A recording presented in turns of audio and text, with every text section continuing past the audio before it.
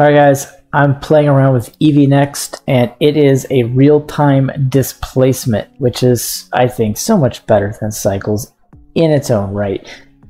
So I'm going to show you guys how to kind of get here and, you know, you kind of play around with this thing and do whatever you want to do.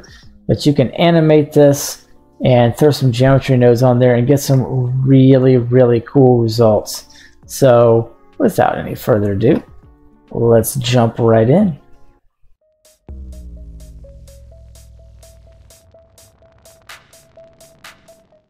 Alright guys, it's time to actually have a little bit of fun and do something with Eevee next. And if you haven't done this yet, uh, you got to jump in.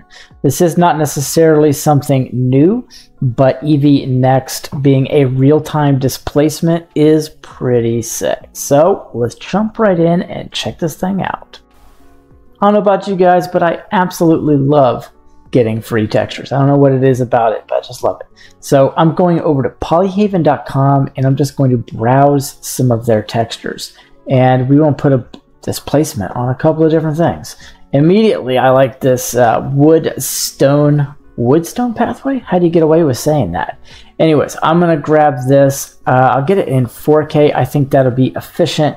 And I'm gonna back out of here. And I'm looking for something very specific, like a like a hard tile with a smooth kind of. Here we go. Slab tiles. That's what I wanted. 4K download. Yeah, all that looks good. All right, so let's jump back over to Blender.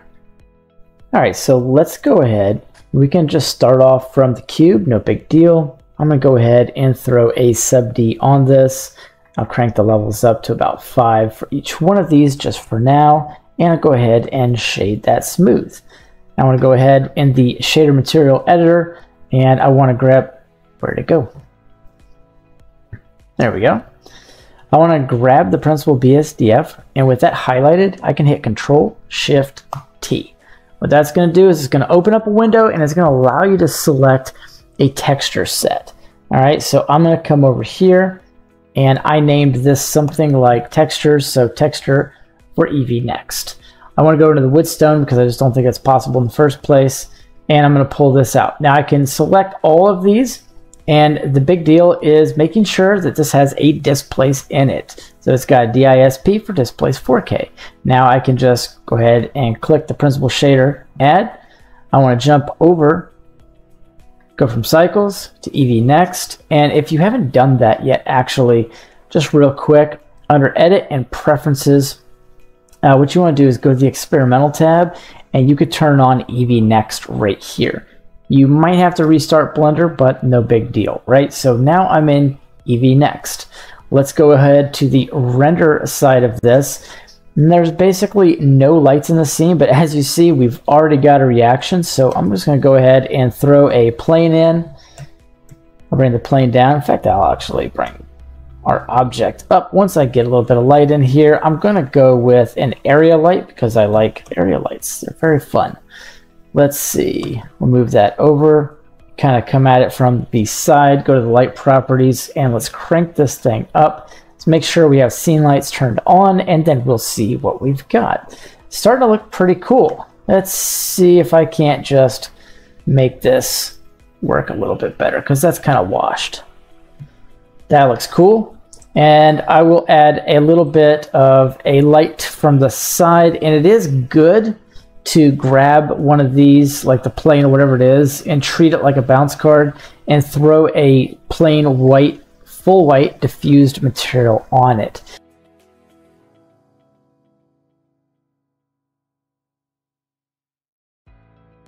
And I'll actually pull up the Light Magic Studio for this. Um, so now we've got this scene. I'll just go ahead and add a camera actually. And I think that if we grab all of this and rotate this 180 degrees. It'll be facing the camera. Looks cool. Now I can make that the active camera so I can kind of see what's going on. Probably just go ahead and, well, that's going to be a pain. So here's what you can do with these lights when they're a pain like that. You can come over here to the constraints, add a constraint, add a track to, pick a target. The target will be our mesh object here. And so now as I move the light around, it's not like screwing around, being a real pain. Uh, let's select this. Let's change the displace and bring the scale down to something like 0.2 and then kind of hold shift and left mouse to kind of bring it up from there kind of see how that's going to end up looking seems a little glitchy still but I think it's pretty good and you can play around with the mid level perhaps get just a little bit better setup all right not too bad now I want to come over to the normal map and kind of mess around with the normal map a little bit too. And we got something really cool here. This looks really good. So something like a 0.04 kind of ends up being all right for that. Very cool, very cool. So woodstone pathway, whatever, it just ends up making something really neat. And of course, with the light magic add-on, I can just grab that light real nice and quick and bring the uh, kind of bring the mood down just a little bit. Let's see what this ends up looking like. Probably just go ahead and pull, let's see, close up, and I want to do a focus here. Portrait, mid-range. I think I like it right about here because the camera was too close like some of the presets I've got, the camera doesn't come in that close. All right, so that looks pretty good. Now we're gonna go ahead and try the other texture on here. I'm gonna dump that off, click new, grab my principal BSDF, control shift T, the letter T for tango, and I'll back out of here. And let's go into the slab, pull up textures, pull up all these, and just go ahead and hit OK on that, and we'll see what we get. Oops, come on back. That is really, really cool. All right, that's nice. I like that. Oh yeah, and the thing I was going to show you a second ago completely got sidetracked. This is too much fun. So let's just say you have done this, and you have zoomed in here, and you're trying to get over there, but your mouse wheeling like crazy and it's not working and you're going you're going crazy. So what you can do is you can just hit Alt L if you have my add-on and you can frame on selected. Oh, I've got to select something. Alt L and frame on the selected object and it's going to bring you right back in. And let me go ahead and get lost again real quick. And I'm way out here, can't get there. I just want to focus in on any object I can get a hold of. You don't have to have the add-on to do it. You can just go to View, frame selected, or number pad period. And it'll pull right in. And that's just such a big relief to be able to do something like that and jump right in. All right, let's screw around with this texture a little bit. I like playing around with the scale. The mid-level isn't really too important to me. I think I just have like a little bit of a degrade there on the displacement. I'm gonna have to kind of play around with this a little bit later on to kind of see. Yeah, you kind of play with the normals. That looks really good. I really, really like. And I suppose there would be a few options that you could kind of screw around with. You know, you pull the normal strength. That's basically what I'm working with here. All right, definitely not done yet. Okay, so we can kind of play around this thing a little bit more. Let's see what else we can do with it. Uh, one thing I want to do is we can go to simple if we want to. Um, this is a cube. Let's scale it down. It is a displacement, so it should work out nicely for this. And I'm going to move all the texture space and stuff out. And I think we can get rid of that card for now. All right, so for our little object here, let's just move this below the plane just a little bit. Grab the plane, come over to a Geometry Nodes workspace, click New.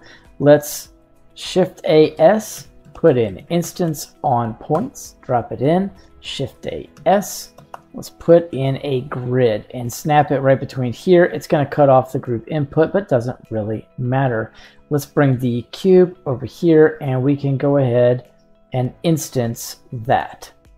Now it's probably going to come up with some kind of a big giant blob. We're going to have to bring our scale down and it might have just been a good idea to have done that ahead of time. You know, for anybody who just crashed their PC. I do apologize. All right, so we could bring this to 0.1, perhaps, something like that. And we can leave that under there because it doesn't matter for now. And what you want to do is we can bring the um, size of this out a little bit, but let's get it something like 3 for now is probably good. Let's bring the vertice count up to 16. And what that's going to do is that's going to effectively give us a nice tile floor. And I'm a little choppy here for some reason. Oh yeah, got to click relative. there we go. So make sure to click relative so you don't get screwed up. And let's bring this back down. Something kind of manageable. Something like that. There we go.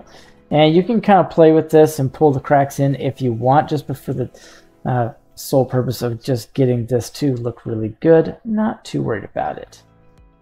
Now there are just oodles and oodles of things you can do with this. But just to show you one thing, Shift A S, I'm going to put in a combine XYZ. I'm going to plug that in it's a vector to a vector.